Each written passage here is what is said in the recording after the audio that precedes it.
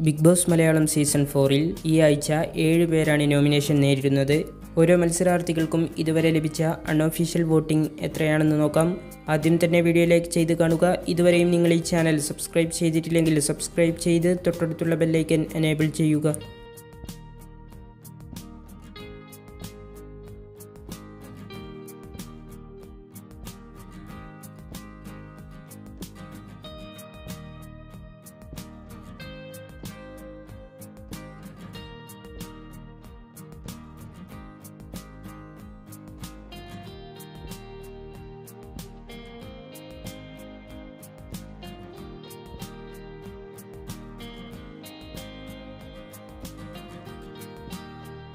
നിങ്ങളുടെ ഇഷ്ട മത്സരാർത്ഥി ആരാണെന്ന് കമന്റായി രേഖപ്പെടുത്തുക വീഡിയോ ലൈക്ക് ചെയ്യുക ഷെയർ ചെയ്യുക.